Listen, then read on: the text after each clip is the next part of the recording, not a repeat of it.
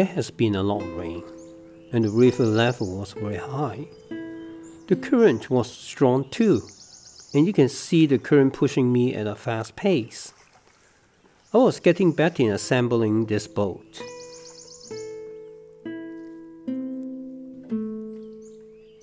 I looked for a place where the current was not that fast so I could test the boat. Water flows slower around the dock. Installation of the unit on the water seems to be easy and faster than when I did that at my garage. Maybe the flotation of the unit helped with the installation.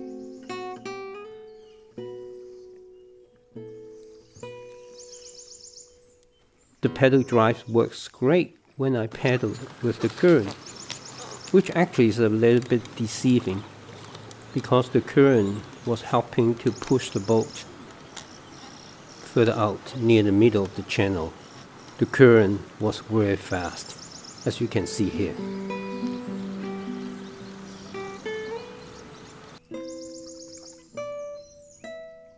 Then I tried to paddle the boat against the current, and I was able to keep the boat stationary for a while.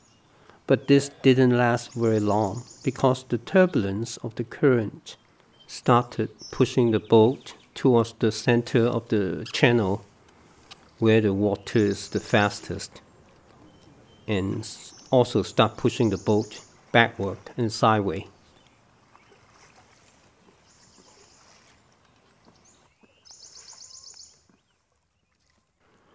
What I have learned is I can imitate the movement of the fish in steering the boat by just moving the fin with a different rhythm.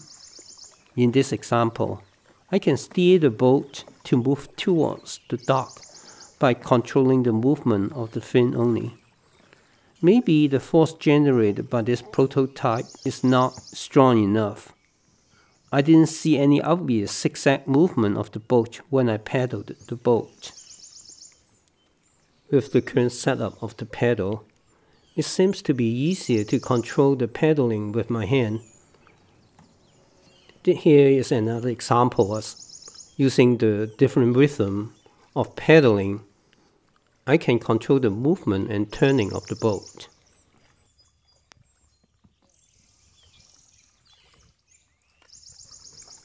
I control the boat to turn to the right and then I can control the boat to turn to the left by controlling the movement of the fin just like a fish.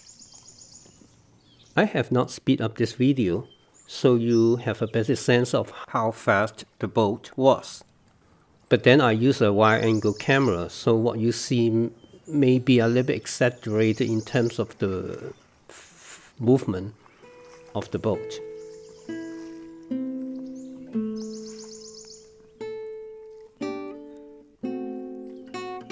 I tried to test the effectiveness of pedaling by increasing the pedaling frequency.